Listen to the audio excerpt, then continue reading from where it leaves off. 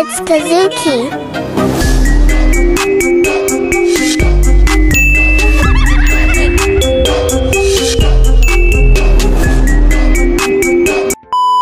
Hi guys, today I'm gonna show you how to be invisible in Royale High. If you're wondering that I'm talking to this and this, then you're wrong.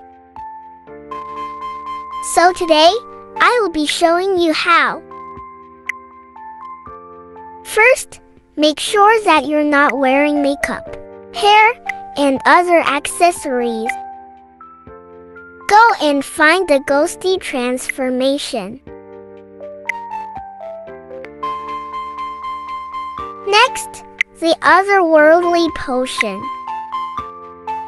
If you don't have it, go and buy it.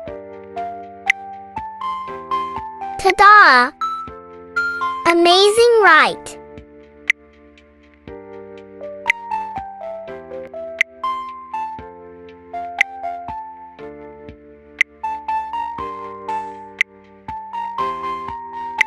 Sorry, kinda laggy. Awesome, right?